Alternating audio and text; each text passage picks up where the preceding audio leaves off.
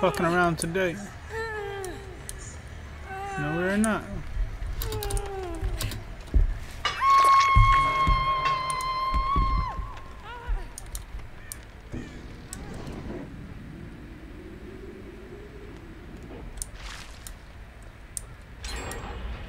Hmm.